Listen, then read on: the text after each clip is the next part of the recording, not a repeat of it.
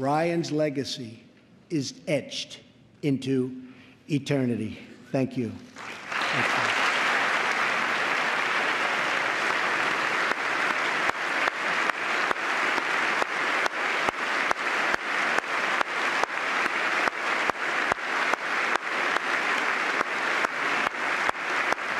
For as the Bible teaches us, there is no greater act of love than to lay down one's life for one's friends. Ryan laid down his life for his friends, for his country, and for our freedom, and we will never forget Ryan.